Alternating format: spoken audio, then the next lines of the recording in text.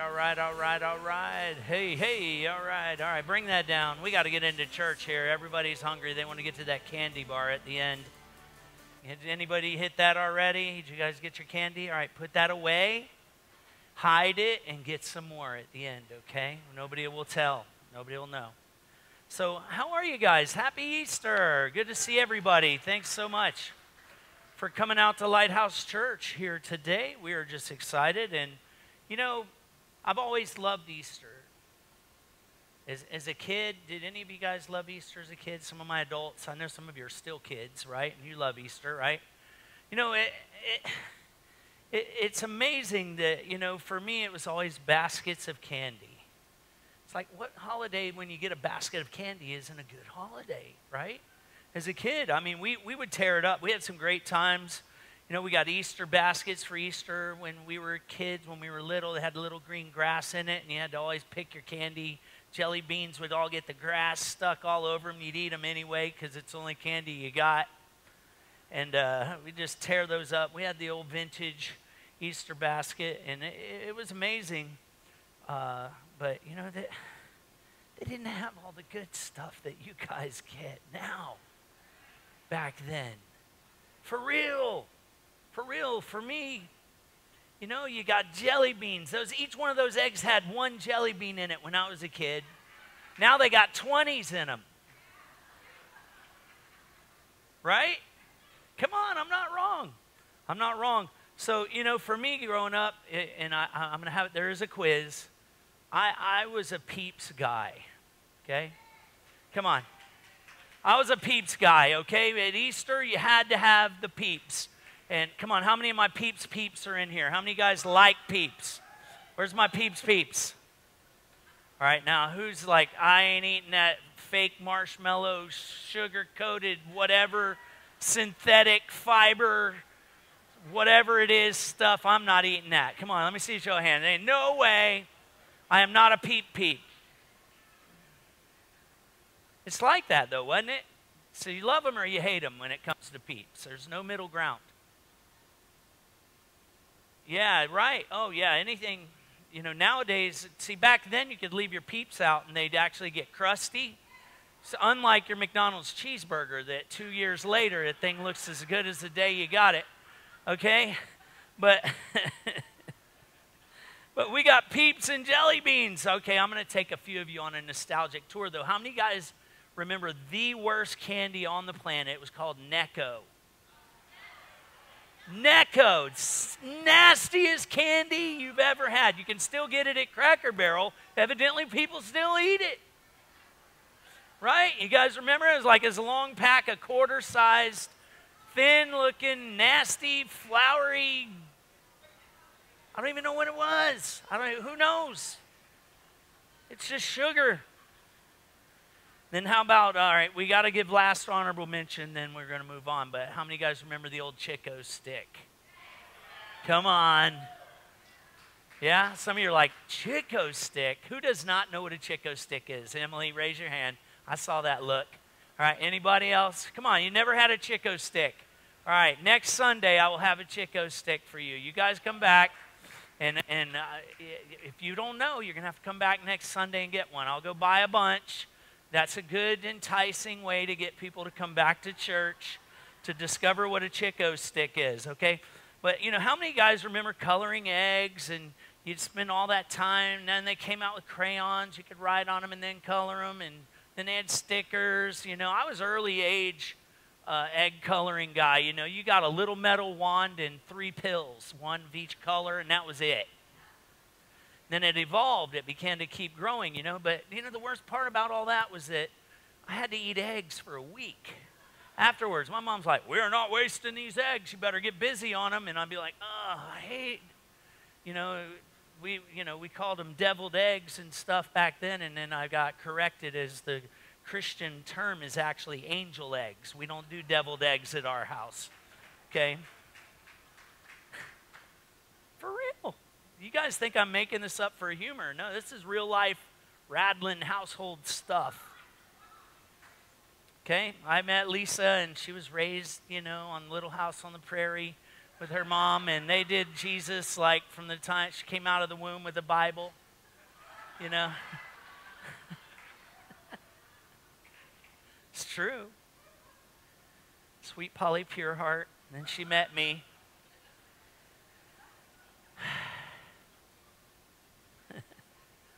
Right, Justin? he was the firstborn. He was the firstborn. So, but here's the deal. All that's fun, you know, you can pull that down. That's all, you know, you can do whatever you want with all that and have your Easter fun and your baskets and your candy. We got candy for you and stuff for after the service. Please take as much as you can because it'll all end up in my top drawer. Uh, and I'll be giving it to everybody else and eating it myself. But I never fully understood the importance of Easter growing up. It was just Easter bunny and candy and baskets. You leave a cookie and you get a little piece of cottontail from the Easter bunny left on a plate, you know, like and I was always wondered as a kid, how does he have that much tail?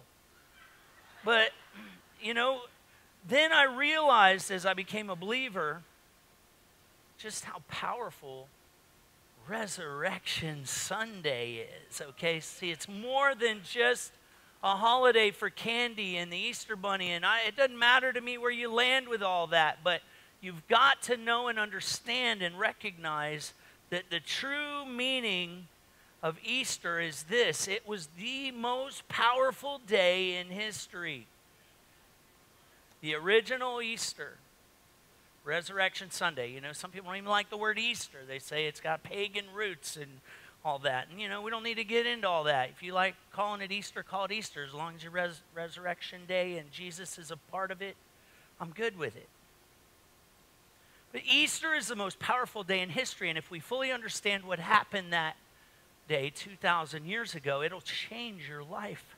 And we can all walk in the wisdom and the power of God in our lives. Somebody say amen. So I, I asked the Lord, I, I said, Lord, there's, there's people here that come every week. That's great. There's people here that are, you know, every other week, you know, once a month. That's great. But then there's a few of them that are going to be here today that I'm only going to see in this day until next year. And they're the, you know, we call them, the, maybe on Christmas Eve, you know, we call them the CEOs, the Christmas and Easter only crew. Okay? That's the pastoral term for them, right? So I said, God, I've got them today. What is it that you want me to share with them? And he said, everything. It's like, okay. So I am going to share everything with you today. And this is the, one, the, the 101 of how the gospel works and how the world works and how the cross works and how all of it comes together. Last service, they walked out of here going, I had never heard any of that. I didn't know this. I didn't know that. So the title of this message today is called Did You Know? Are you ready? You guys ready to hear some things? Because it's going to be it's going to be the rundown. I felt like God said, give them the rundown. Give them every little piece of a nugget of everything that they need to know and understand to be successful with me. So I'm going to just share the truth of the Bible with you. We're going to uncover this book. And I'm going to I'm going to teach you a little bit today about all of it and how it all pulls together. Sound good? And we'll be out of here by 3. Here you go. You ready? Here we go. All right. Did you know? Say no. Okay. That without the proper knowledge of how the Bible and, uh, and the truth that is in this book works in this world, it can cause you to be destroyed in your life can cause you to take damage. It can cause you to lose your eternal purpose. If you don't understand this book, well, show me that in Scripture. In Hosea 4 6, says, My people are destroyed from a lack of knowledge. Because you've rejected knowledge, I also will reject you from being priest for me, because you have forgotten the law of your God, or you've never even known the law of your God. Right? And I also will forget your children. You see, there's this thing, it's called a generational curse that can come upon people, and it can be passed down from generation to generation to generation to generation. And you could be actually missing all of the truth of the Bible because of a generational curse that has been passed down on you through all of your family history and line. Decisions that you didn't even make. But see, it's called a lack of knowledge. See, so we have to actually apply the truth. And the truth is that we can break that generational curse. So I'm going to do that real quick over each and every one of you, if that's okay, you know. And uh, if you don't want to receive that prayer, that's okay. You don't have to, but I'm going to pray over you. And, and would you just let me do that for a minute? Father, I thank you in the name of Jesus that every generational curse that is represented in this room, in every person, in every individual, I break its power off of them. I release knowledge over them. I release your truth over them. I release your word over them that they would know the truth and the truth would set them free in Jesus' name. Amen. You see, without the proper knowledge of how the Bible and its truth works in this world, it will destroy your life. So we're going to learn a little bit. You ready? Did you know that as a Christian, we have to believe that the whole Bible is true? It's either all true or it's not true. We can't pick and choose what we want out of the Bible. You know, that part says, you know, if they cannot contain, let them marry, right? You know, that part. We have to believe that, you know, that the Bible says we shouldn't do this, then we shouldn't do that. If the Bible says we should do this, then we should do that. Does everybody understand that? See, as, as a Christian, we have to believe that the whole Bible is true, not just the parts we like. Some of you say, I don't like everything in there. You don't, do you? I didn't. You don't. It's okay. We don't have to like it, we just have to accept it as truth. Then we can eh, decide where we want to land on the line of the truth in our own lives. You know, you don't have to live the truth, and we're going to get to that. But you need to know the truth if you're going to be free. So we have to have a place to go to that says this is ultimate truth. And that's what this book's for. Okay? And, and some of you may believe it, some of you may not. It's okay. But the Bible is telling you that you will take damage, from a lack of understanding what the truth is. So, as Christians, we have to believe the whole Bible. Okay, there really was an ark. All those animals really got on it. There really was a flood. Did you know that the Grand Canyon was actually carved from the flood?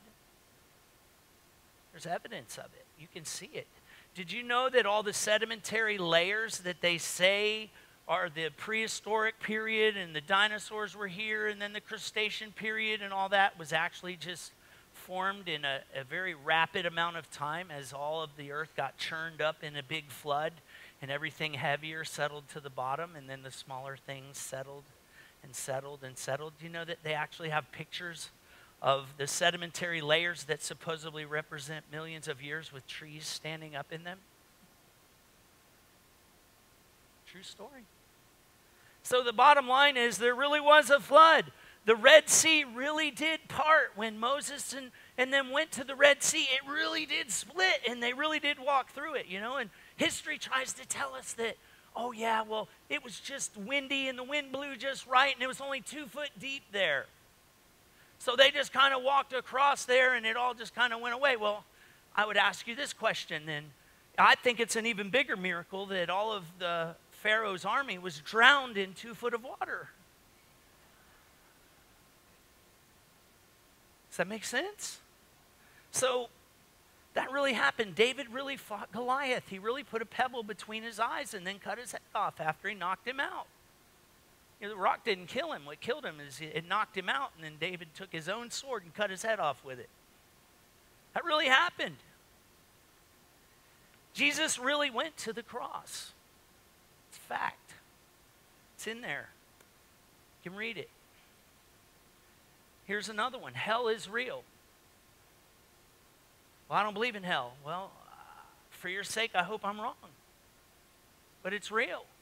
The Bible talks of it very clearly. It's very described as a place you don't want to go. There really are demons, there really is a devil, there really are angels, and there really is a Holy Spirit, and He's real and He moves and, and does things. And, and Jesus is real. He really did live and, and, and visit us on this earth. Is that, did you know that? Did you know that many Christians have never heard the true gospel? Think about this. They've never even heard the true gospel. I, I went to the old folks' home and I would do ministry there, and the old people would think I was crazy. They're like, he's got some really strange views because they had gone to church for their whole lives and they were a 100 years old and they'd never heard the gospel that they needed to repent from their sins and call on Jesus and his blood sacrifice to cleanse them. They'd never heard it. And they would get saved. Snatch them out of the fire at the last minute. You know how mad the devil would get? They're like, I had them. I had them. They were being destroyed from a lack of knowledge. Think about this. All right, let's, let's break it down because the gospel of Jesus Christ is this it's good news. Okay? You know, how many guys like to get good news? Right? So, so let's look at what the good news is. Okay, first and foremost, if we're going to believe anything, we got to go right to the beginning of the book. Right? If you have your Bibles with me, turn to Genesis 1 1. Super easy, right? In the beginning, somebody say the beginning, God created the heavens and the earth. Did you know that God created the heavens and the earth? Not everybody believes that. But that's what the Bible says. See, it, it it's wasn't in the beginning nothing exploded into something. Look at this video. Watch this video for a second.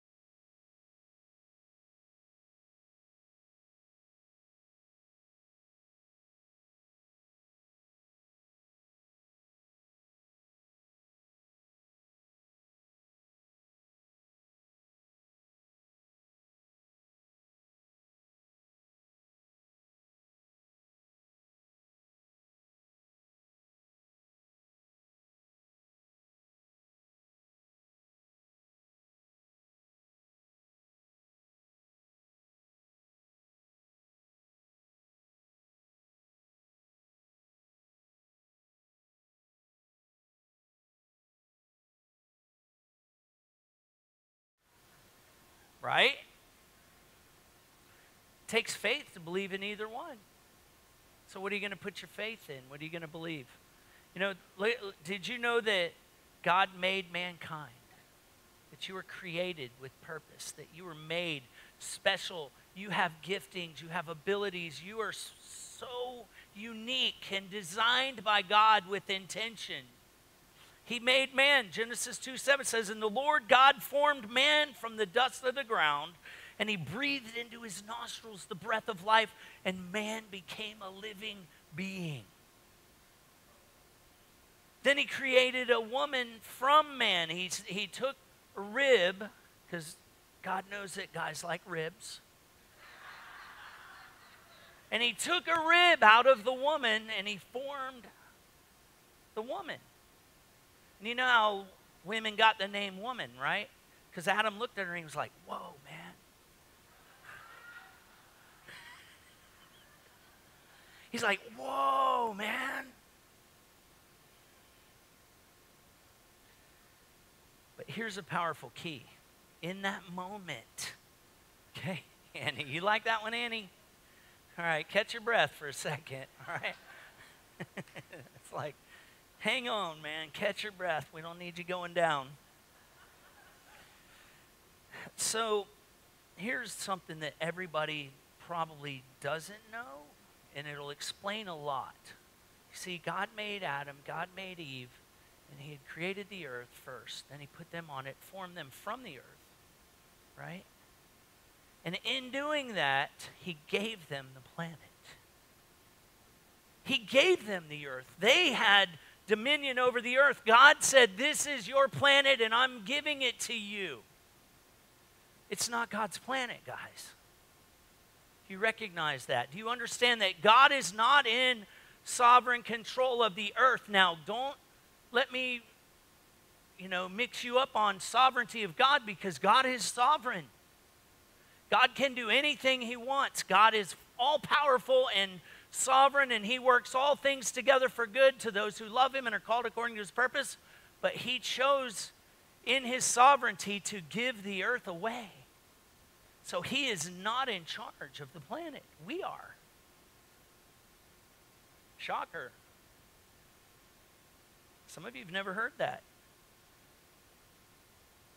It belongs to mankind. He gave it to Adam and Eve. Show me that in Scripture, okay? Psalms 115, 16. You ready? The heaven, even the heavens, are the Lord's, but the earth he has given to the children of men.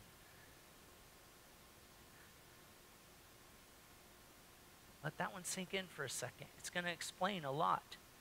Well, people always say, How can God allow babies to starve to death in Africa? What kind of God would let the suffering that's going on in this planet happen? How can He, being able to fix it, not fix it? He's not in charge. You are. We are. Babies are starving in Africa because corrupt governments and mankind is corrupt. And there's enough food on this planet to feed every person. Every person had, would have more than enough but it's greed, it's the greed of men, it's the it's the dominion of mankind over this earth and people ruling over this earth and pushing God to the side and taking their own authority and running away from God with it that are causing people to starve to death. That's why sickness is rampant because you can't tell me they've got the cures and they're withholding them to get money from you, to put you on medications, and uh, I better not even get started. Lord, help me. Lord, help me. But He's not in charge. You know, it's the church's job to fix it. We're called to be the solution, we're called to fix it. We got to rise up. We got to be who God's called us to be in the earth.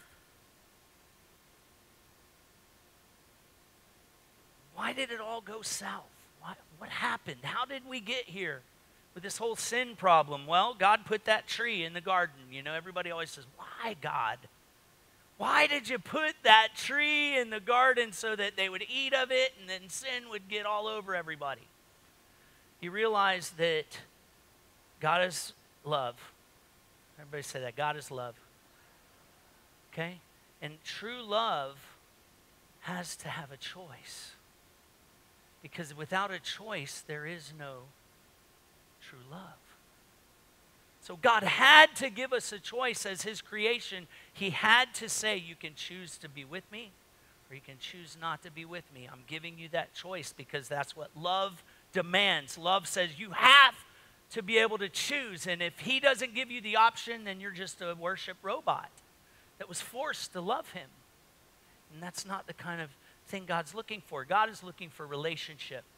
God is looking for people that are going to come to Him and they're going to love Him for who He is, and He's going to love them because of who they are. And, and that's what God wanted from the very beginning. That was the plan. God created a choice in the garden, and He said, Choose me, please. God doesn't want robot worship. How many guys know Adam and Eve made the wrong choice? Just like we do. We make the wrong choice, don't we? Sometimes. Except for you. You never make the wrong choice. I can tell. I can see it. She's like, Don't look at me. Don't call me out. I'm sorry. She seems so nice. Did you know Did you know that God knew they were going to make that choice before He even formed the earth? He knew when he put the tree in the garden, they were going to eat from it. He knew we were going to all get jacked up and sin was going to enter the world and things were going to go crazy. He knew it all beforehand, but he still did it. Why? Because he knew that he would get some of us in the process as true people that truly love him, that truly wanted to be with him in our lives, and it was worth it. So, what does that mean? Did you know that the Bible says that Jesus was the lamb slain before the foundations of the world? Listen to me. Revelation. Now we're going to the back of the book. All the way to Revelation 13, 6 through 8. Then he opened his mouth in blasphemy against God to blaspheme his name and his tabernacle and those who dwell in heaven, says Satan. He was granted to him to make war with the saints and to overcome them. And authority was given to him over every tribe, tongue, and nation. All who dwell in the earth will worship him. It's talking about Satan, whose names have not been written in the book of life of the Lamb slain before the foundations of God already knew. He already knew. Jesus was plan A. Jesus was not like this recovery project where, oh my gosh, the world has fallen apart now. I put that tree in there and oh, I never thought they would eat from it. Why did I do that? Now I got to send Jesus. Uh, wasn't like that. He already knew. He already right there. Jesus was the lamb slain before the world, before it was even formed. God already knew we were going to be right where we are today, in need of a Savior, in need of Jesus in our lives.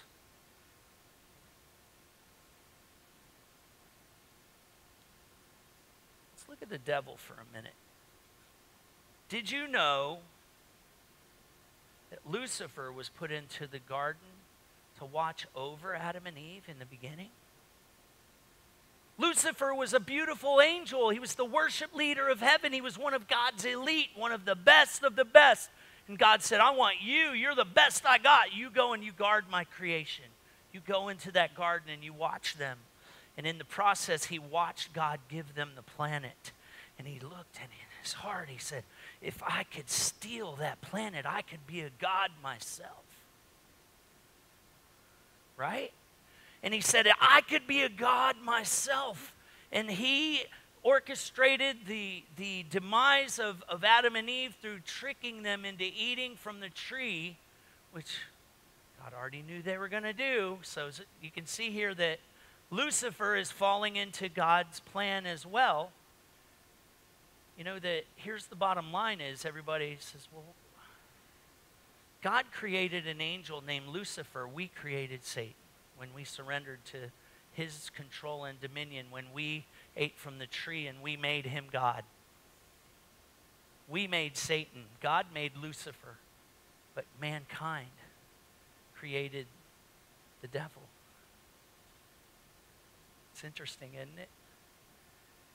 It's in Ezekiel. He was in the garden. It's all there. It's in the book like I said, I'm having a, I'm doing the rundown. So if you want to come back and hear about that, just say, Pastor, you got to preach that. Just let me know when you're going to be here. So, because God gave the earth to man, and man had to take it back from the devil, right? He stole it. He's got dominion. Even Jesus referred to Satan as the God of this world. So he's got it. He's in control. He's in the world. But God can't take the world back. He can't walk over there and just slap Satan in the head and give me that world back and then hand it back to Adam. Adam's in sin. Adam has lost his dominion of the planet. And the only person that could get the world back from the devil's control would be a human being because that, that's mankind is what the world was given to. You following me? Follow me, right? So God's like, the only thing I can do is become a man myself and go take it back. Enter Jesus. Does that make sense? See, God couldn't take the world back as God, but He could take it back as a man who was not sin, not in, a, in sin in his life. See, Jesus was without sin. God was the only one that could become a man that would be able to take the earth back from the control of the enemy and then give it back to us, which is part of the story. That's why Jesus is the only way to heaven. Because it's through his sacrifice that we actually can enter into that. See, Jesus trapped himself in a human body for eternity. Being found in the form of God, listen to me in Philippians, says, Who being in the form of God did not consider it robbery to be equal with God, but made himself of no reputation, taking the form of a bondservant and coming in the likeness of men, God became a man. And being found in the appearance as a man, he humbled himself and became obedient to the point of death, even the death of the cross. The most brutal death that has ever been recorded was the death of Jesus Christ. It's never been more brutal, it's never been more painful. He experienced the most punishment that any human being has ever experienced. It says, Therefore, God also has highly exalted him and given him the name which is above every name, that at the name of Jesus every knee should bow. Listen to me. All those in heaven, those on earth, and those under the earth, that every tongue should confess that Jesus is Lord to the glory of God. That's why the virgin birth is so powerful. That's why we have to, as believers, as Christians, we have to believe in the virgin birth because a man worthy of being able to take away the sins of the world could only be God, and God could only enter into the world as a human being through a virgin conceived of the Holy Spirit because we as humankind could not recreate a sinless man. And then that sinless man was actually laid on the altar and sacrificed for our sins. Does that make sense? I know I'm going deep, but you know, guys, I got you for some of you for one, once a year. So we've got to, I've got to get this to you. You've got to understand, you know, that Jesus went to the cross and he took he took it back. He took the authority back by becoming the lamb that was slain. He died on that altar. That that that cross was an altar, okay? And Jesus spilled his blood for you. He sacrificed his life for you so that you could be made the righteousness of God. It says the wages of sin is death, but the gift of God is eternal life in Christ Jesus our Lord. Romans 6:23. It's a gift. You can't if you had to earn it, you couldn't. If you had to be good enough, you won't be. If you had to live your life a certain way, you can't. It's simply a gift. God could only fix it. It says, through one man's disobedience, sin entered into the world, then how much more through the one man, Jesus Christ, will the righteousness of God enter into the world once and for all? You are the righteousness of God in Christ Jesus. You are holy because if you have, have, given your life to Jesus Christ, He has made you holy. He has made you perfect because you cannot have a relationship with a holy God unless you are holy yourself you will never meet the standard apart from His grace and Him coming in and washing you clean Himself. God had to take, that's why when Jesus was washing the disciples' feet, it was a picture of what He was going to do for all of us. He was going to go to the cross, He was going to wash the filth and the stain and the sin of this world off of us once and for all. He who knew no sin became sin for you so that you could be the righteousness of God in Him. See, the cross unleashed grace. Jesus dying on the cross was a big deal. You know, that, that was powerful. It fixed the whole tree thing. It's all gone now. Doesn't matter. And did you know that if Satan would have known, he wouldn't have done it? He wouldn't have killed Jesus if he'd have known? He got duped. God set him up. He set him up. He says, Oh, he's going to try to kill him for sure, so that's easy. I'll just make him the sacrifice for everybody. And when Satan kills my son, that'll be the sacrifice. Once and for all for everybody. And then Satan's like, gosh, if I would only known, I wouldn't have done it. And then I'd still be in charge. Guess what? He's not in charge anymore. Jesus is. Jesus took the keys of death and hell and the grave, and he took back the earth, and he gave it back to us. He's waiting for us to do something with it. What are you going to do with it? Each of us play one little part. We are the body of Christ, moving and acting and, and operating in the kingdom of God. It's powerful.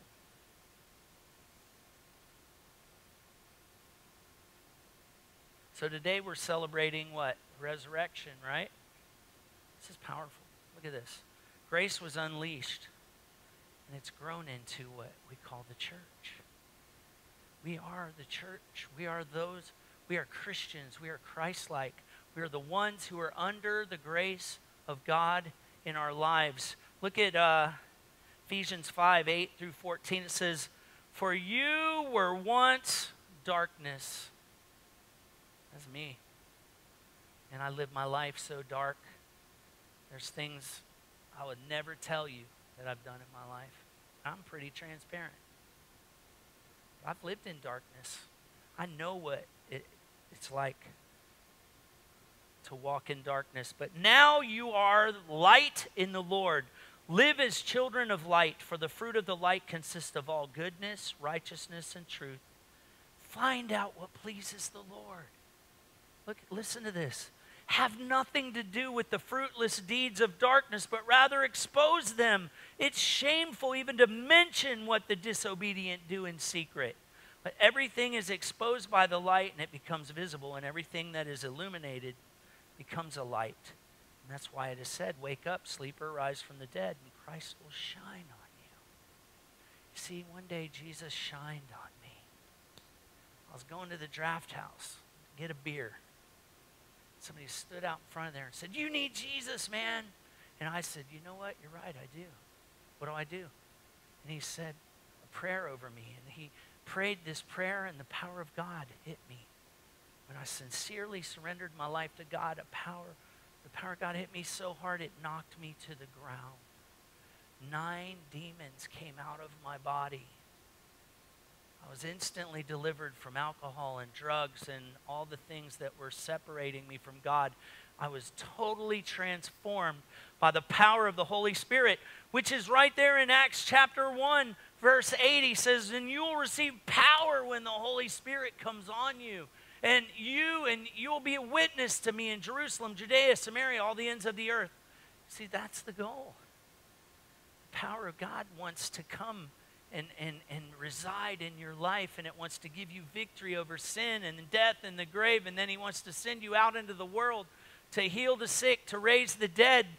That Jesus said, The things that I've done, you'll do, and even greater things will you do because I'm going to the Father, and I've released the power of the Holy Spirit to each and every one of you, my church, to be who God has called you to be on the planet, to take back the earth, to have dominion, to move and operate in the power of God once and for all the way He originally intended it to be.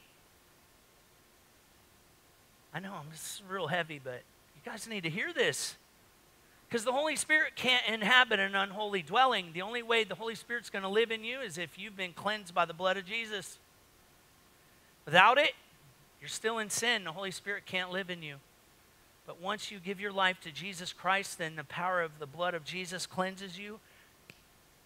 Holiness comes on you. The Holy Spirit's like, I can live in there. I could come over here.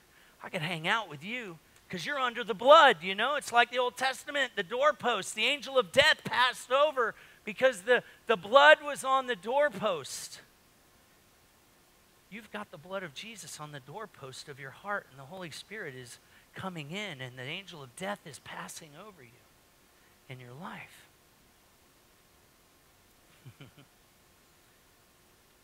Ready? Let's land the plane. Candy's calling. Boils down to this. I'm gonna. I'm, I'm closing. Is it warm in here, or is it just me? A little warm in here, Wayne. Bump that air down. Put it on 62.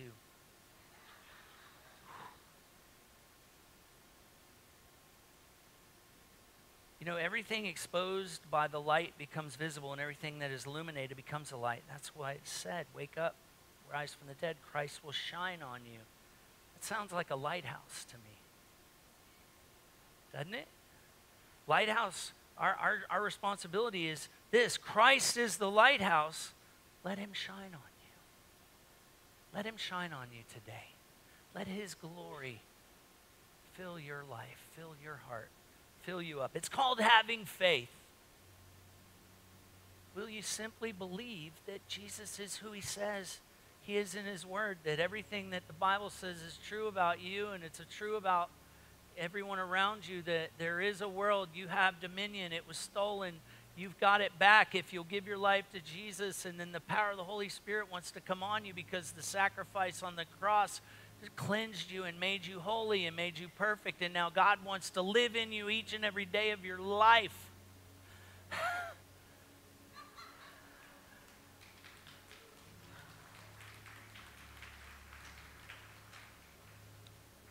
Do you believe, or did you know that Jesus is seated right now at the right hand of the Father and He's praying for you? He's praying for you to receive everything that He's given you in this book, everything that, that He's tried to show us. He wants to tell you He's coming back. He's coming back. He's looking for a bride I know that's tough for us guys. I don't want to be the bride. But you're the bride, guys. Jesus is coming back for a bride that's without spot, without blemish. That can't happen apart from Him cleansing you. All Jesus is asking you to do is surrender your life to Him and say, Cleanse me, make me perfect, make me holy, and come live inside me. That's all you can do. You can't be good enough. You can't behave enough. You can't modify your behavior enough. You can't. But you can give your life to God and say, God, use what I can give you. Help me to be better. Help me to do what needs to be done for you in my life. Would you bow your heads with me?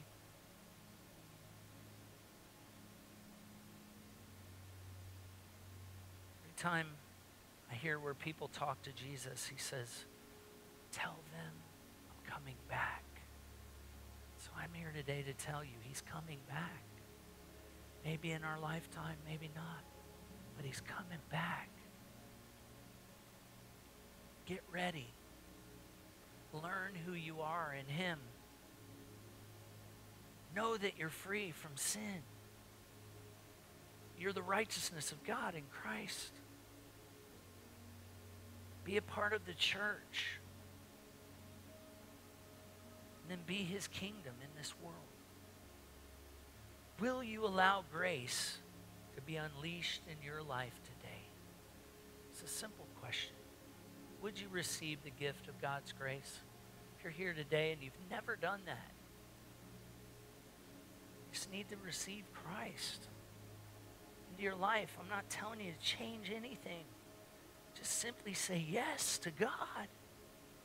Would you just I want to pray for you. Would you just lift your hand for one minute and put it back down? If that's you, if you would say, Yes, I need to do that. I need to give my life to the Lord. I see that hand. Anyone else would say, That's me. I see that one. Anyone else say, That's me. All right, you can put it right back down. I see him. Just say, Yeah, I need that. Anybody else before I pray? Say, That's me. I see it in the back. You put it down. Anyone else? Father, I thank you for every person that raised their hand in this room today that said they want to accept you. I know many of them already have.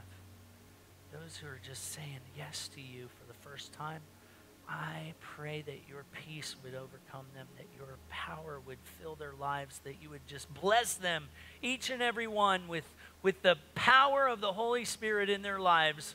And I just release them to be who you've called them to be today. In Jesus' mighty name. Everything that He paid for them I pray they would receive it. Anybody say amen? Amen, amen, amen. Hey, don't forget, we have church every Sunday, 8.30, 10.30. There's a candy bar out in the lobby. Please, if you already took some, take more. God bless you guys. We'll see you next week in Jesus. Thank you for coming for Easter Sunday at Lighthouse Church. Love you guys. Love you all.